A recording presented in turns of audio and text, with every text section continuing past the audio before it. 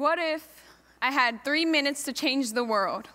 Now, before you start to think it's just another girl with her silly dreams, please do not close your eyes and ears, but listen to me, because I only have three minutes to change the world. Well, possibly four. And I know you're probably thinking, what can I do in three minutes that you haven't done in the years before?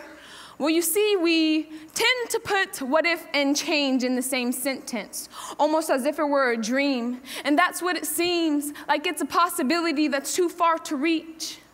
And then we start saying things like we tried everything to achieve change. For instance, putting people's pain and suffering on TV. And then we lie back wondering why people still ignore hunger, poverty, and racism.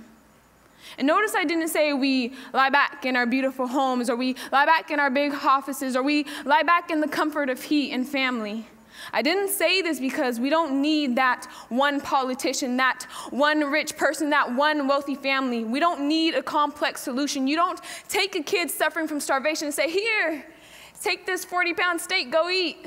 He's just gonna do what the world has done to us every time we offer change a complex solution. Throw it up in our face. Harsh, I know, but we've pushed change too far as we watch natural disasters tear apart homes and families, always thinking change is just too far to reach. That there is still something that's in us that hungers, that thirsts, that desires after change. So we continue the pursuit, the pursuit of happiness, the pursuit of something different, the pursuit of something non existent but it's like running a race.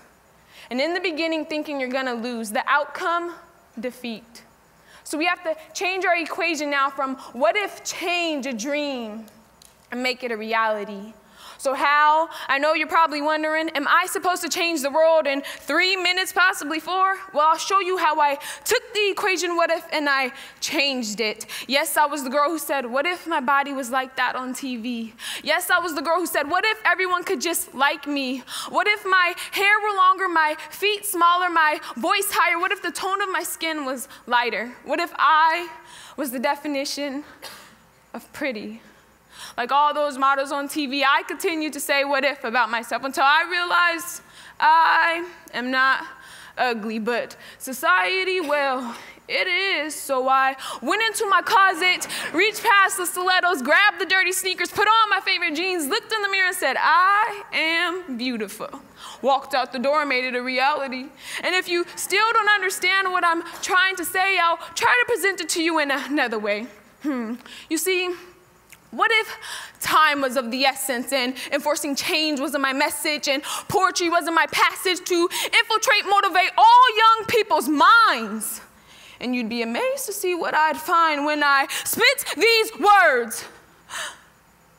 Excuse me, I mean, when I pronounce these adjectives, verbs, and adverbs, you see, all I want to do is change the world.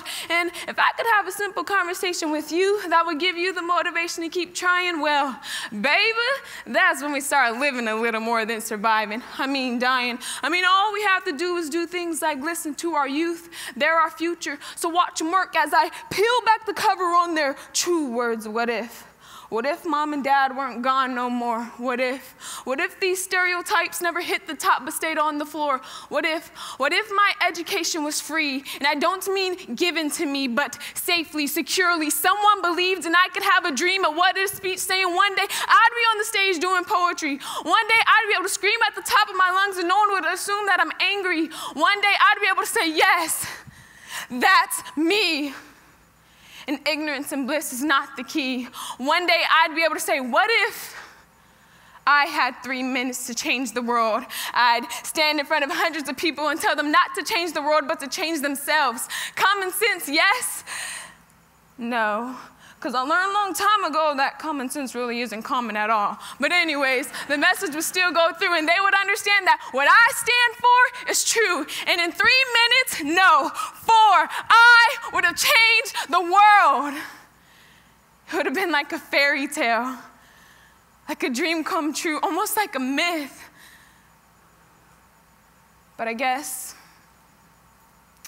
it's only just what if. But what if?